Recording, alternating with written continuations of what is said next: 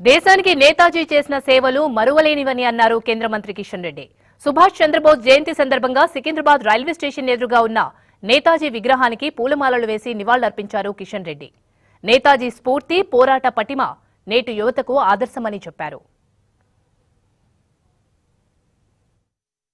సుభాష్ చంద్రబోస్ యువకులను సంఘటితం చేసి బ్రిటిష్ వాళ్ళకు వ్యతిరేకంగా అనేక రకాల పోరాటాలు చేశారు. వారిది జన్మదినోత్సవ సందర్భంగా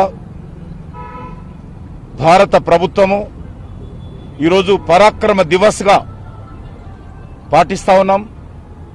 వచ్చే సంవత్సరము నూట ఇరవై ఐదవ జయంతి ఉత్సవాలను కూడా దేశవ్యాప్తంగా భారత ప్రభుత్వం పెద్ద ఎత్తున నిర్వహించబోతా ఉంది.